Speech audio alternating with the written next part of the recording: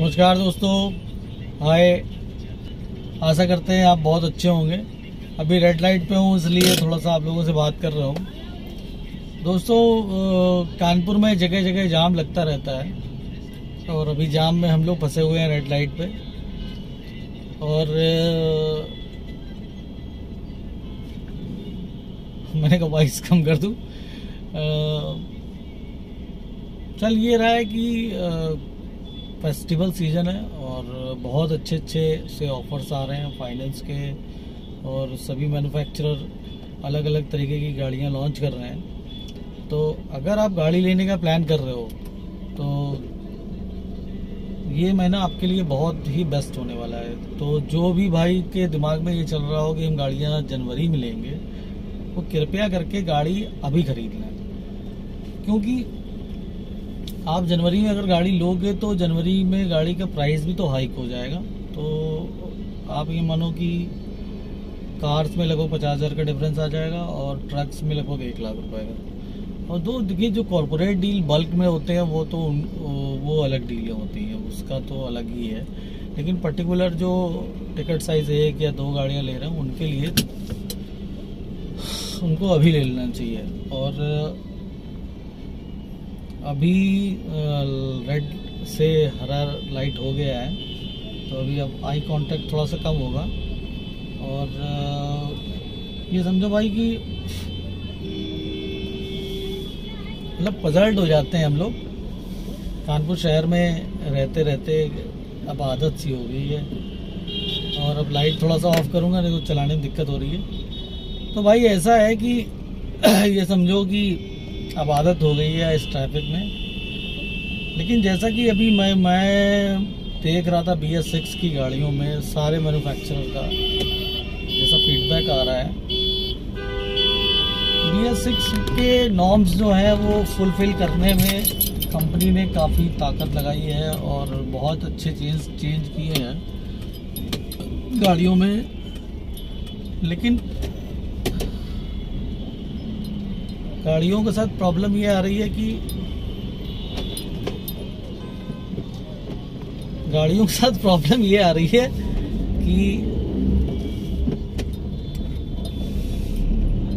सबसे ज़्यादा डेप का जो लाइन है ना, वो बहुत ज़्यादा लाइट अप ऑन कर लेते हैं। वो बहुत ज़्यादा प्रॉब्लम कर रहा है। और बहुत सारे कस्टमर्स इस चीज़ को लेकर बहुत ज़्यादा परेशान भी हैं। मैं देख रहा था कि लोगों को इस चीज़ का सामना करना पड़ रहा है कि उनकी गाड़ी ब्रेक डाउन हो जा रही है, गाड़ी चल नहीं पा रही है। तो देखिए, एक जो ड्राइवर होता है ना, जो गाड़ी फाइनेंस करा के लाता है, एक दो लाख रुपए लगाता है, उसके लिए ये बहुत बड़ा मतलब रॉकेट साइंस हो जाता है कि अगर उसकी गाड़ी ब्रेक डाउन हुई, अगर ब्रेक डाउन हुई तो आप ये समझ लीजिए कि मतलब उसका पूरा शेड्यूल बिगड़ जाता है, क्योंकि सारी चीज़ें ई एम पे होती हैं। और जब भाई सीधी सी बात है, जब ई पे होगी तो अगर आपका गाड़ी नहीं चलेगा तो फिर आप, आपका ट्रैक रिकॉर्ड खराब हो जाएगा। आज के टाइम में सारी चीज़ें सिस्टम जनरेटेड हैं। आप एक दिन भी अगर ई लेट करते हो तो वो आपके सिविल में अपडेट हो जाता है। सारे बैंक्स जो हैं, वो अपना जो डाटा है, वो भेज देते हैं तीस तारीख को। रिज़र्व बैंक ऑफ़ इंडिया को और ये जो डाटा है ये दो कंपनियाँ अलग अलग रखती हैं जिससे आपका सिविल अपडेट होता रहता है। तो भाई कहने का मतलब ये है कि अ, सारी चीज़ें एक दूसरे से कनेक्ट हैं। गाड़ी खराब होगी गाड़ी नहीं चलेगी तो सीधी सी बात है कि आपका ईएमआई नहीं जाएगा ईएमआई नहीं जाएगा तो फिर आपका सिविल खराब होगा और सिविल खराब होगा तो नेक्स्ट टाइम आपको गाड़ी लेने में बहुत प्रॉब्लम होगी आपको हाई रेट ऑफ़ इंटरेस्ट देना पड़ेगा। इस तरीके के इशू आते हैं। और इसीलिए जो अ, मतलब बड़े ट्रांसपोर्टर हो तो उनके पास तो अ, मतलब पैसे का फाइनेंशियल बैकअप होता है जिससे कि वो अपना क- मतलब चला लेते हैं काम। गाड़ी नहीं भी चलती तो भी वो अपना ई पे कर देते हैं। लेकिन जो पर्टिकुलर एक गाड़ी वाला है ना तो वो उसके साथ बहुत ज़्यादा प्रॉब्लम आती है। क्योंकि मैं भी पर्टिकुलर एक मैन्युफैक्चरर की गाड़ियाँ सेल करता हूँ तो मैं देखता हूँ कि कंपनियाँ जो वादा कर रही हैं कि हम अड़तालीस घंटे में ऑन रोड कर देंगे तो छोटे मोटे इशू तो हो जाते हैं। लेकिन जब आती बात मेजर प्रॉब्लम की तो वो फिर रिजॉल्व नहीं हो पाता है।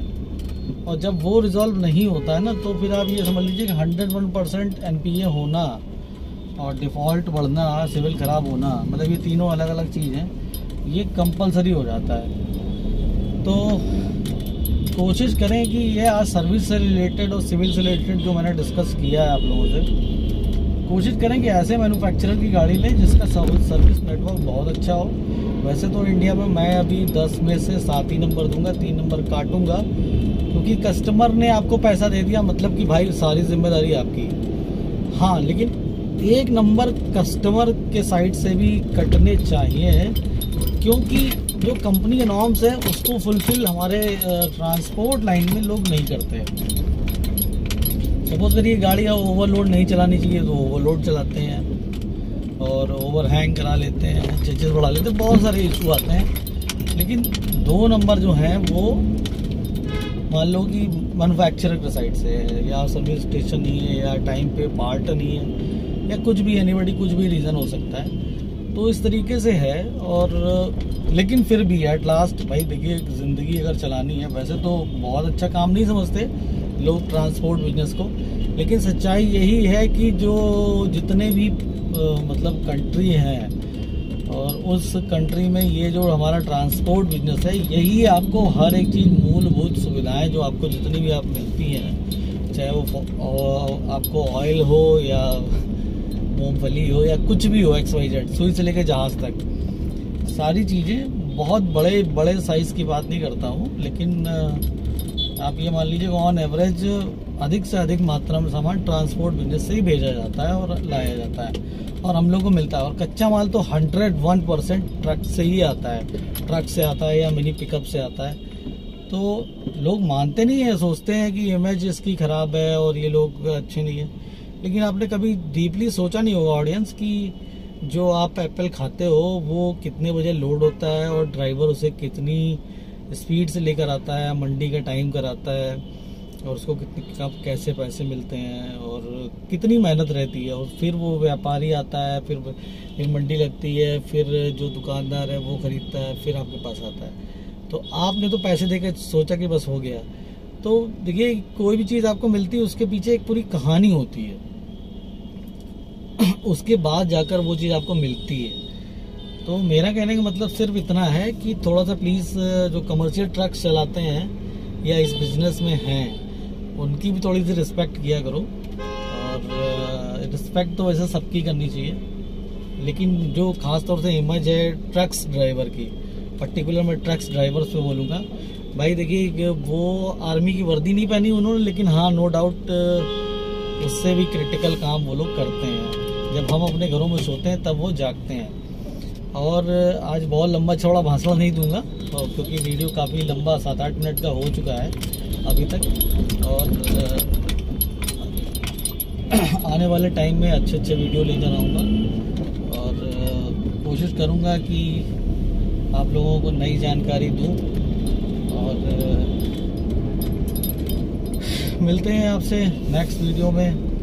अपना ख्याल रखें सेफ़ रहें, सुरक्षित रहें और ऑनलाइन जितनी भी धोखाधड़ियाँ हो रही हैं उनसे भी थोड़ा सुरक्षित रहें आजकल। और ठीक है, अपना प्यार बरकरार रखिएगा। बाय बाय जय हिंद टेक केयर रखते हैं, थोड़ा ड्राइविंग हो रही है।